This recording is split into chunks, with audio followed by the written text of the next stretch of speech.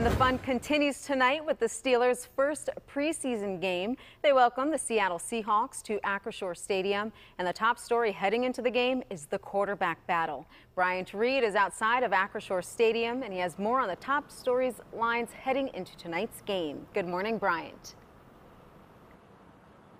Good morning, Brianna.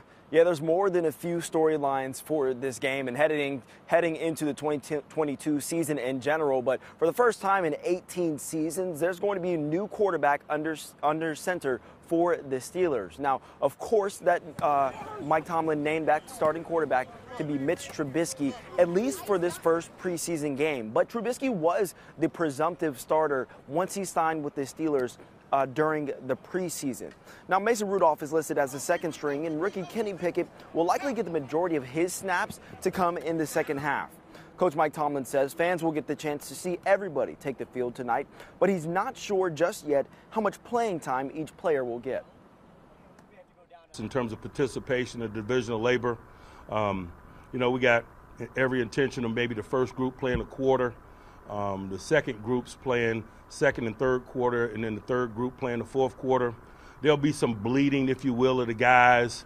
Um, if there's a first teamer that lacks experience, he may play into the second quarter. If there's a third teamer who's on the come with some upside, he might get in the game in the third quarter, things of that nature.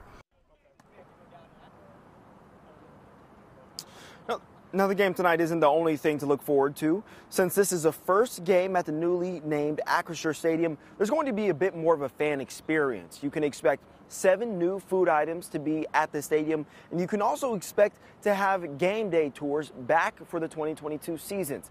It's going to give uh, the fans a behind the scenes look at what all it takes to get a stadium ready on game day. And speaking of behind the scenes, we have the game for you tonight at 7 o'clock. That's when kickoff is but coverage will start at 6:30 and make sure that you're stick around that you're going to be sticking around for after the game for the extra point as well as a special edition of the nightly sports call. Reporting, I'm Bryant Reed, KDKA News.